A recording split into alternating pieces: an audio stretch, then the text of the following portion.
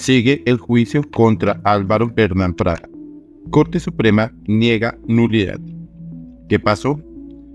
La sala de primera instancia de la Corte Suprema de Justicia negó las peticiones de nulidad presentadas por la Procuraduría y la defensa del magistrado electoral Álvaro Hernán Prada y en cambio ordenó más pruebas testimoniales y documentales. Contexto.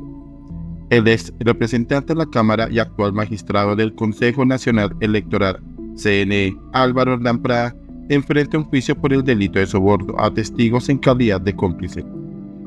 En el mismo caso que tiene en juicio al expresidente Álvaro Uribe Vélez.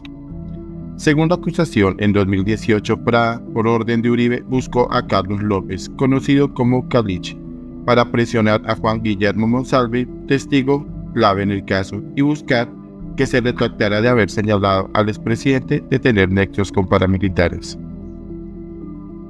La Corte Suprema sí tiene la competencia de investigar el caso. La Procuraduría y la defensa del magistrado argumentaban que la Corte no era la institución competente para investigar a Prada porque él renunció a su fuero de congresista. Pero el alto tribunal respondió que el delito que se investiga sí está relacionado con su rol de representante a la Cámara.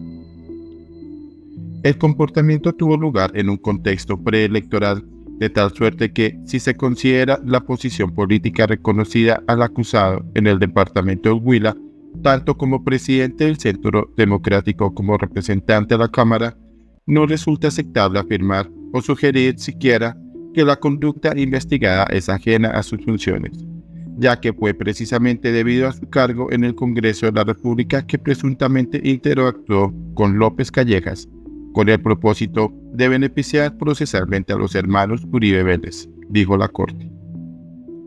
Además, como Prada ahora es magistrado del CNE y tienen un fuero diferente, la Corte dijo que prima el fuero que tenía cuando se produjeron los hechos, por lo que se les investiga. Dato. Álvaro Hernán es uno de los autores de la ponencia del CNE contra el presidente Gustavo Petro por sobrepasar los topes en campaña.